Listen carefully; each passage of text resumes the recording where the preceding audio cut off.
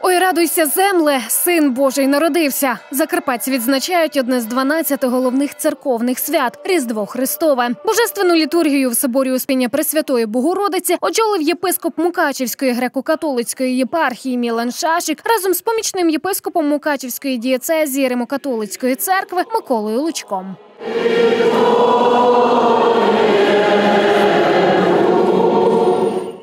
Закарпатців святкування Різдва має особливе значення. У цей час всі члени родини збираються за одним столом, щоб поділитися благою вістю про народження Спасителя.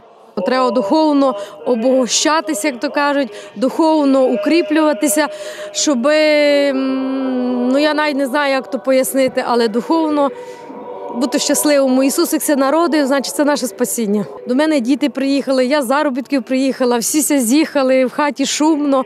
Дві неділі радості, радості, радості. За словами закарпатців, традиційно готуючись до різдвяних свят, в своїх оселях створюють атмосферу затишку, миру і злагоди, готують багато різноманітних наїдків і обов'язково навідуються у храм. кажуть, таким чином віддають шану імениннику торжества. Я зараз іду колядувати, вінчувати, тому що це Різдво це звичай такі. Колядки це мене втішає. Я утішаюся тим, що такі праздники є. Звертаючись до присутніх на святковій службі, єпископ зазначив, Різдво Христове це в першу чергу свято добра і милосердя. І тому є так важливо, щоб не залишався